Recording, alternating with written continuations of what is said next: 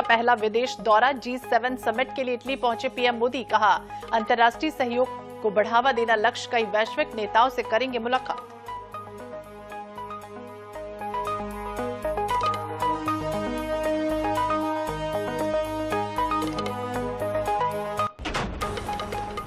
अमरवाड़ा विधानसभा seat पर उपचुनाव को लेकर आज से भरे जाएँगे नामांकन। बीजेपी ने किया प्रत्याशी का ऐलान। कांग्रेस से भाजपा में आए कमलेश शाह को बनाए उम्मीदवार।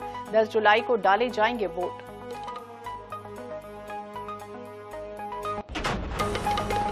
बलौदा बाज़ार की घटना को लेकर एक्शन में साय सरकार। तात्कालीन कलेक्टर और एसपी को किया गया सस्पेंड। जाँच के लिए न्यायिक आयोग का गठन। अब तक 121 लोग गिरफ़्तार। आज बलौदा बाज़ार जाएँगे कांग्रेस के वरिष्ठ नेता। रायपुर में आज भी जारी रहेगा विभागीय समीक्षा बैठकों का सिलसिला। सीएम साय आज करेंगे स्वास्थ्य और चिकित्सा, शिक्षा विभाग की समीक्षा। दवाओं की पर्याप्त उपलब्धता और बेहतर सुविधाओं पर होगा ज़ोर।